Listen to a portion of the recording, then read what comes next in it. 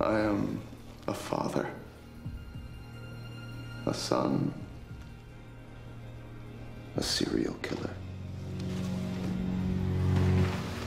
You're going to burn in hell. No, I think I belong right here.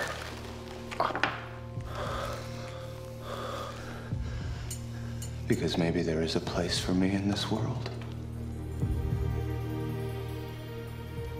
Just as I am. Light cannot exist without darkness. Each has its purpose. And if there's a purpose to my darkness, maybe it's to bring some balance to the world.